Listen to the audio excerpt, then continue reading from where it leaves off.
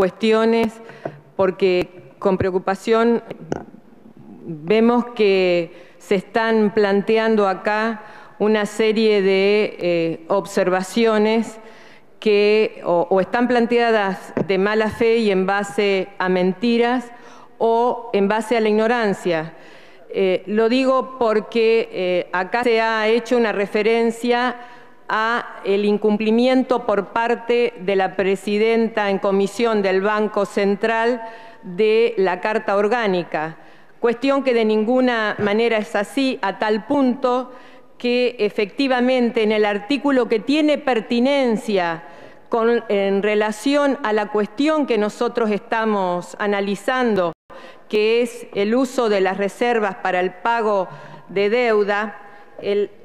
el artículo 11 de la Carta Orgánica del Banco Central expresamente dice que cuando razones de urgencia fundadas así lo exijan, el presidente podrá asimismo resolver asuntos reservados al directorio en consulta con el vicepresidente o con quien haga sus veces y por lo menos un director, debiendo dar cuenta ese cuerpo en la primera oportunidad que el mismo se reúna de las resoluciones adoptadas en esta forma, de la misma facultad gozará quien lo reemplace.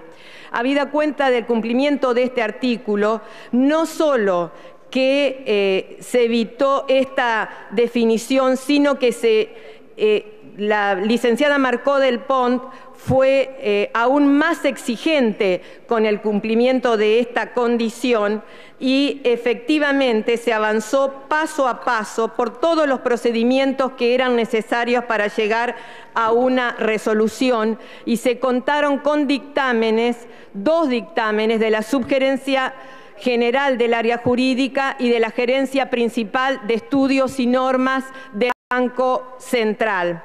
Esto, digamos, en relación a Carta Orgánica, en relación a eh, el cumplimiento de un decreto de necesidad y urgencia, la verdad que mucho me llama la atención que sea planteada como una desobediencia cuando todo ciudadano, en tanto y en cuanto la Constitución además define los decretos de necesidad y urgencia como una norma de estatus constitucional, deben ser efectivamente así cumplidos y esto es lo que Marcó del Pont realizó.